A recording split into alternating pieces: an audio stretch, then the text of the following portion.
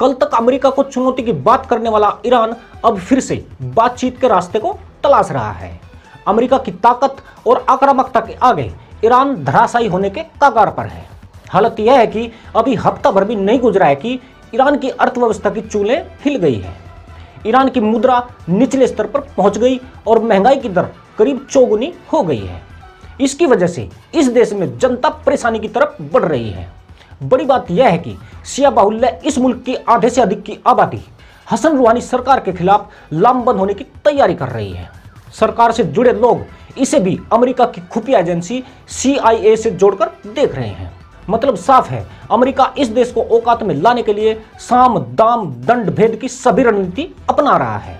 इधर Britain, France और Germany ने भी ईरान को आगाह कर दिया है कि जब तक ईरान अपनी प्रतिबद्धताओं पर टिका रहेगा, तब तक वो भी इस परमाणु समझौते का समर्थन करते रहेंगे, जो उसके साथ हुआ है।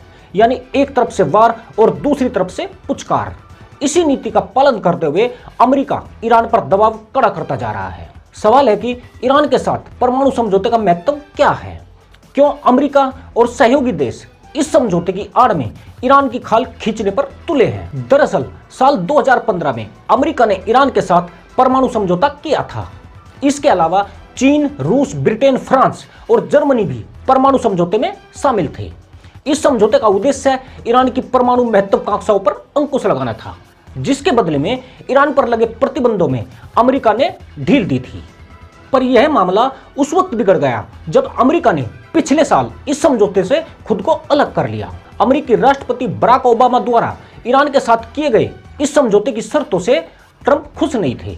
इसीलिए अमेरिका ने समझौते से अलग होते ही ईरान पर फिर से प्रतिबंध लगा दिए।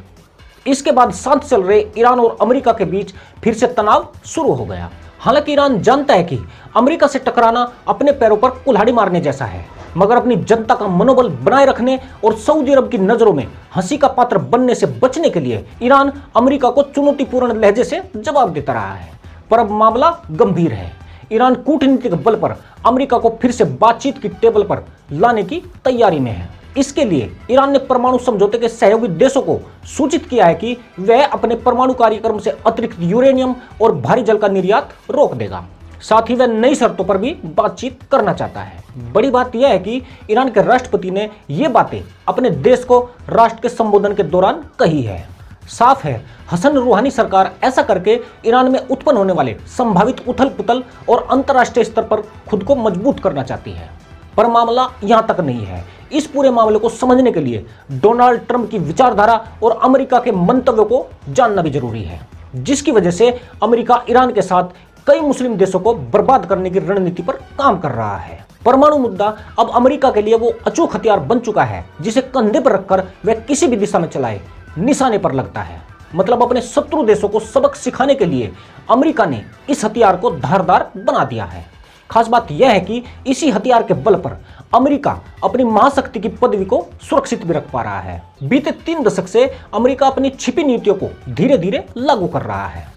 ईसाइयों के बाद दुनिया में सर्वाधिक जनसंख्या मुसलमानों की है। इन तीन दशक के दौरान अमेरिका ने अपना निशाना मुस्लिम देशों को ही बनाया है। पहले इन देशों में आतंकवाद की उत्पत्ति की, फिर उसी आतंकवाद के नाम पर इन देशों में सेनाएँ भेजी, जिसके बाद इन देशों में लंबे समय तक के लिए जंग का खड़ा बना रहा। इराक, सीरिया, अफ़गानिस्तान, लीबिया इसके जीवित उदाहरण है। अभी जिन देशों में ऐसी ही जंगी हालातों की शुरुआत होने वाली है, उनमें नाइजीरिया ईरान, तुर्की और पाकिस्तान जैसे मुल्क हैं। खास बात यह है कि चीन अमेरिका की इसी नीति का फ़ायदा उठाते हुए दुनिया के सभी मुस्लिम देशों में अपनी पैट बढ़ा रहा है। ईरान के साथ भी चीन के घनिष्ठ व्यापारिक रिश्ते हैं। चीन दबे स्वर में अमेरिका द्वारा ईरान पर लगाए गए प्रतिबंधों का विरोध कर भी रहा है। मगर चीन चाहकर भी अमेरिका के सामने बोलने की हिम्मत नहीं कर सकता है।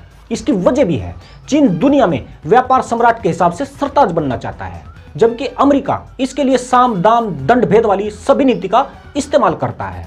ईरान शिया बाहुल्य होने के कारण फ़िलहाल अकेला पड़ा हुआ है। कोई भी मुस्लिम देश उसके पक्ष में नहीं बोल रहा है। वैसे अमेरिका जिस तरह अपना मकसद पूरा करता है, उसके लिए ज़मीन पहले तैयार कर ली जाती है। यानी किसी देश को सबक सिखाने से पहले उसके खिलाफ गुट पहले ही बन जाता है। यही वजह है कि सुन्नी बाहुल्य सऊदी अरब भी ईरान की बर्बादी के लिए प्रार्थना कर रहा है। अफ़गानिस्तान खुद से लड़ रहा है।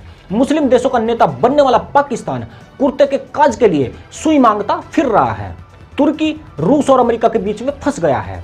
दूसरा ऐसा कोई मुस्लिम मुल्क नहीं है जिसमें ईरान के साथ खड़े होने का दुस्साहस हो।